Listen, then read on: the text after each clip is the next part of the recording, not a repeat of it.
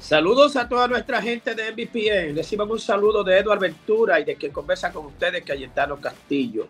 En este momento, para hablar de un tema especial, lo que dijo el gerente de los Yankees sobre Juan Soto. Pero antes que nada, eh, vamos a poner este espacio en manos de Papá Dios para que nos dé sabiduría e inteligencia para tratar este tema. Saludos, Eduardo Ventura. ¿Cómo está?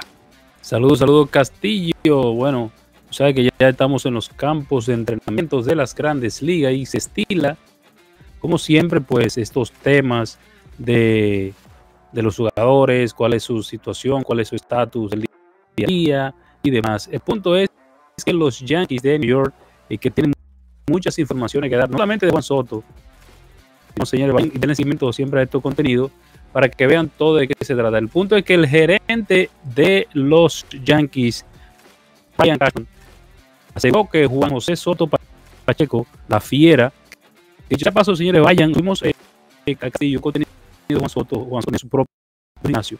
Me acordé de ti cuando ese gimnasio, porque tú siempre hablas de la inversión que deben hacer los peloteros en ellos mismos. Juan Soto tiene su propio gimnasio con su número 22 y todo, pues los Yankees eh, hicieron un gran trato de adquirir a Juan Soto, no hay ninguna duda, en la temporada baja.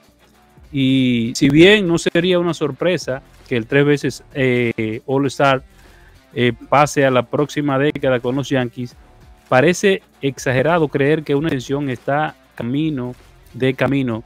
Y la verdad es que, según lo que compró, confirma el propio gerente de los Yankees, eh, dice que Juan Soto probará la agencia libre. Recuerde que Juan Soto tiene a su agente, tiene su agente a Scott Boras, que es, los, uno de los mejores agentes, para mí el mejor, el rey Nida de esta, de esta, de esta área él, estaría buscando 500 millones de dólares por este jugador. Y según las informaciones, el gerente de los Yankees confirmó que lo más probable es que Soto esté con la franquicia solo por una temporada, pues seguramente querrá probar el mercado. O sea, es una posibilidad, no es que quizá esto pase. Es posible que traten de, eh, de buscar la forma de quedarse con él, pero la verdad es que probablemente él esté en el mercado de gente libre Castillo. Bueno, si lo dice el gerente general de los Yankees, de Aventura, y a todos los que nos ven, dicen los dominicanos en el Cibao que cuando el río te suene porque agua traes.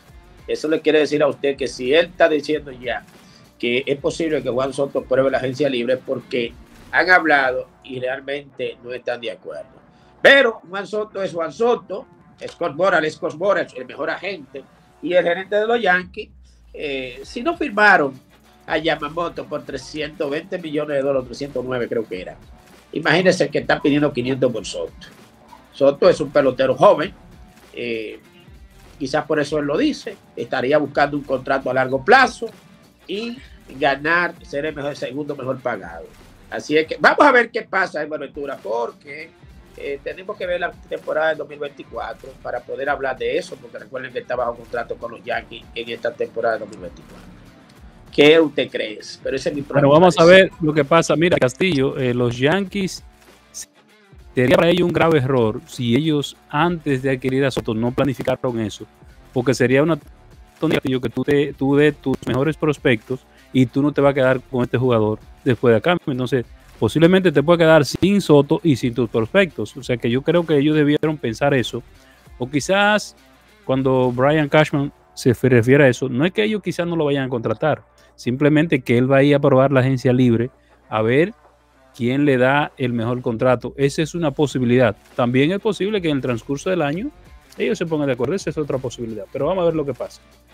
Pero repito, si ellos no se quedan con él y dieron todos esos jugadores, pues no fue un buen, buen negocio para los Yankees de New York. Señores, las gracias a ustedes. Aunque estamos con un poquito pasado de, como estamos pasando un poquito de tiempo, ¿verdad? pero hay que recordar que los Yankees en los últimos años han hecho unos malos negocios. Se quedan, como dicen los indios, eh, los, eh, los, eh, los angelinos, con Otani, que se quedaron con aquello de los pitos y flautas, como decimos nosotros. Así que vamos a ver qué pasa.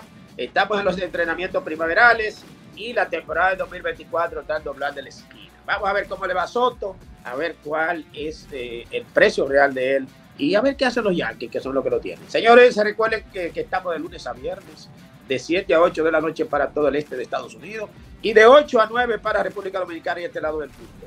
Les pedimos por favor que se suscriban a todos a cada uno de nuestros canales, visiten ese canal que está en pantalla, mi gente 2 con Eduardo Ventura, para que aprendan de la gran unión. Gracias Edward por el gran video que me mandaste eh, a toda nuestra gente de la zona cero.